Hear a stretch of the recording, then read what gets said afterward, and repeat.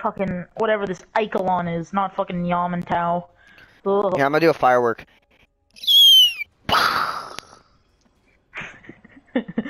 Wait, why is there fireworks going off again? I don't know. I was so confused.